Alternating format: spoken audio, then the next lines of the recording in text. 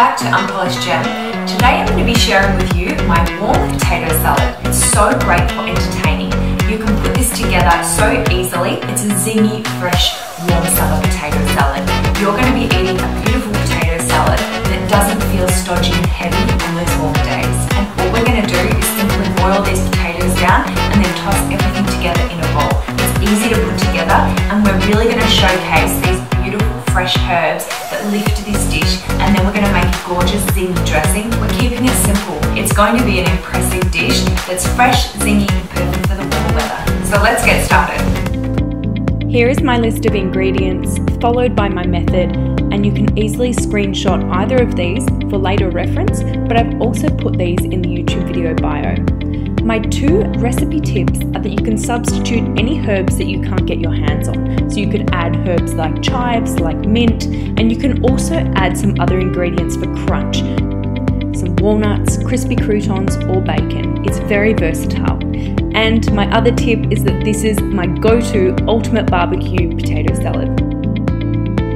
I'm going to prepare my potatoes by putting them in a medium-sized saucepan seasoning them with 1 to 2 tablespoons of salt.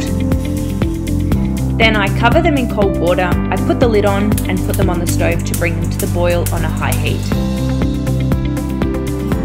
Let's move on to preparing our salad dressing. So all I'm going to do is put all of my ingredients into a bowl and whisk them together. It is that simple.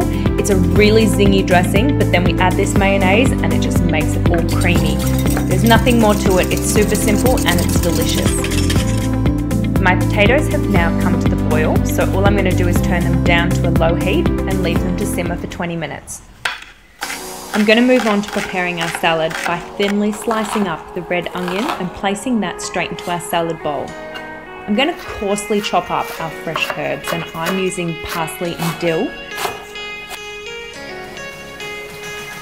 I'm going to tear the end off my spring onion. We don't want to use that. We want to finely chop up the white part of the spring onion. We want it to be crunchy. We place that into our bowl, followed by our capers, and that's it. Let's check back to our potatoes, and I'm just going to check that they're cooked by simply inserting a knife and making sure it gently just releases like that. Not overcooked, just really perfectly done. That took me 20 minutes to gently simmer them. I'm going to strain them and then I'm going to leave them for 10 minutes so that they come to a warm temperature. Then all we're going to do is simply slice them straight down the middle and put them straight into our salad bowl. We're going to repeat this so that all of the potatoes are cut straight down the middle and are placed in the bowl along with those fresh herbs. Now we have everything in the bowl except for the dressing.